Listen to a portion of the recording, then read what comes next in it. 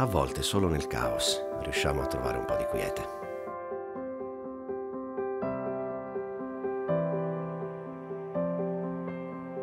Sarà perché ci insegna che per quanto rumorosamente il mondo non smette di andare avanti. E noi possiamo lasciarci trasportare come piccoli e preziosi ingranaggi di un meccanismo più grande. Bella Roma, eh? Bella, sì. Ma Pasolini diceva Grande. che Roma è, è- è madre e matrigna. Eh, questo vale per i malati e per chi non è malato.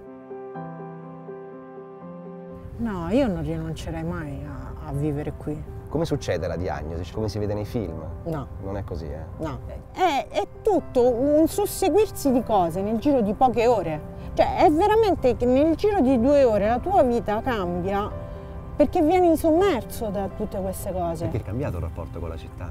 No. No.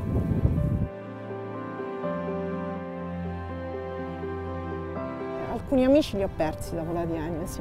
Davvero? La mia migliore amica non ha voluto essere più mia amica. Mi disse io soffro troppo a sentirti parlare di Ah. questa cosa e non, non voglio più sentirtene parlare.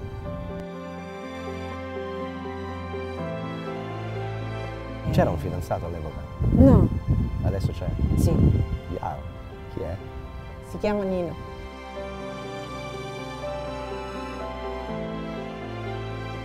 Eh, io non, non sono un medico, non sono un dottore, non so come potrebbe eh, andare avanti la cosa. Eh. La paura c'è sempre. La conoscevo da poco e lei è stata onesta a dirmo- a dirmi subito guarda diciamo sta cosa. È pure giusto che, che chi mi sta vicino sa che, che quel limite in realtà esiste. Capisco che può essere doloroso sentire qualcuno a cui vuoi bene che parla di certe cose, però se, se mi prende, mi prende con quel limite. Hai avuto mai voglia di scappare? Ci ho pensato più di una volta e, e comunque c'è comunque un, un limite del pensiero in cui dici ma chi me lo fa fare, tra virgolette. Però poi vedo che lei la combatte, la vive, l'affronta con tutta la forza che ha e quindi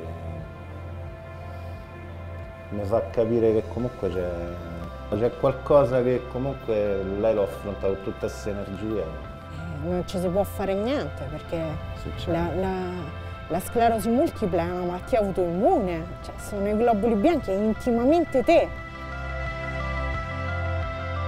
Per trovare la propria strada bisogna farsi forza e attraversare il caos. Se lasciamo che i pesi della vita ci schiaccino a terra, rischiamo di non trovarla mai, la strada. Qualunque cosa accada, dobbiamo rialzarci, riprendere a camminare.